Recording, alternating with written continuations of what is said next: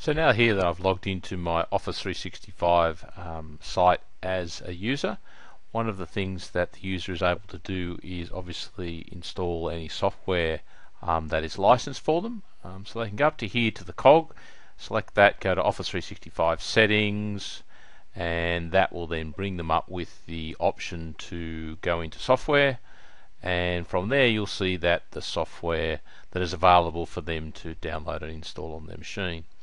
So in this case, because we've got an Office 365 uh, E3 license, Office um, Professional Plus is available to us. But if we have a look here under Tools and Add-ins, we'll notice that SharePoint Designer uh, is also available. So what a user could do is download that and then uh, basically go in and attempt to edit the SharePoint site. So here's the installation of uh, SharePoint Designer. So I've actually opened um, the SharePoint site. Um, if I go into, for example, lists and libraries, I can see all the lists and the libraries, and I can um, basically, you know, work on these. I could potentially delete them. If I go into site pages, um, for example, and I click on a site page, you'll see that I get the option here to edit that, and that brings me up um, with the HTML code. So if I don't know what I'm doing or not skilled enough, I can go in here and I can really do some damage to my standard SharePoint site. So what we probably want to have a look at is how we can disable this um, designer option from Office 365 so at least that's not available um, to our user. So what I'll do is I'll swap across here to um, my Office 365 admin login. So again, this is our standard SharePoint site. Um, but what I'm going to do here is I'm going to go up to admin and to Office 365 to take me to the dashboard view layout um, up the top here. So you'll see now I'm at the admin center down the left hand side under service settings. Uh, what you'll find here is that um, a number of different settings. Now if I select, for example, user software across the top here, what I can do is I can go in here and I can uncheck Office and Lync, but uh, as you see, I can also uncheck SharePoint Designer. So if I now save that, um, that will now be uh, applied. So what I can do now is basically if I now go and log out um, as this user, and then when the login comes go back and log that user back in. So that user's uh, now logging back into Office 365 if I repeat that process um, go into Office 365 settings and then go in and have a look at the software. So I go back into software um, as the ordinary user what we should see is the fact that if we go to tools and add-ins now we'll see that um, SharePoint Designer is no longer um, available as a download. So this will prevent the, the user from downloading the uh, SharePoint Designer tool uh, from their Office 365 portal.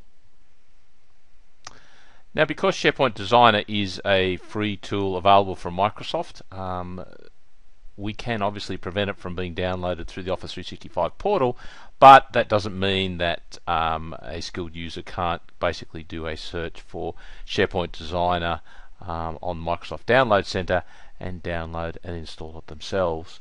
So although that we've stopped it in the portal, um, the user still could download it um, themselves and install it and then try and access our SharePoint site.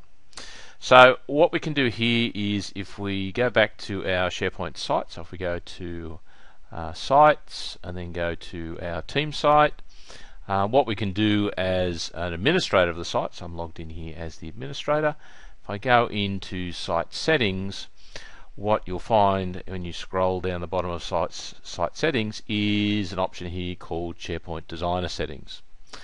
So what I can do in here is I can, for example, totally um, disable SharePoint Designer. But you will notice that by default that only site owners and designers um, can use SharePoint's, uh, SharePoint Designer in Site Collection. So in Office 365 you need to be a site owner or a designer to have the ability to work with SharePoint Designer. And uh, most users when they are given permissions to uh, Office 365 um, SharePoint. They come in as uh, members of the site. So if we have a look at uh, members, okay, so again, typically members only have um, the ability to contribute, they don't have the ability to design a site. So hopefully that'll give you a quick overview of how you can prevent your users from using SharePoint Designer to access your SharePoint site.